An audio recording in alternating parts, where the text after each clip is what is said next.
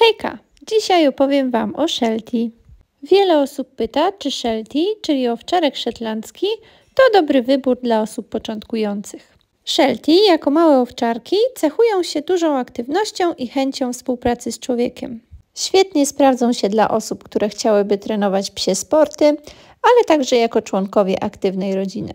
Należy jednak wziąć pod uwagę, że Sheltie to zróżnicowana rasa, więc jej poszczególni przedstawiciele będą różnić się między sobą temperamentem.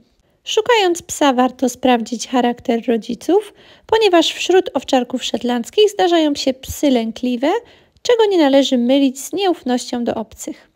Bywają one szczekliwe i reaktywne. Może się więc zdarzyć, że pies będzie ganiał szybko poruszające się obiekty, więc kluczowa jest tutaj socjalizacja i przekierowanie tych zachowań na zabawę. Pielęgnacja Sheltie, choć może wydawać się trudna, nie jest skomplikowana.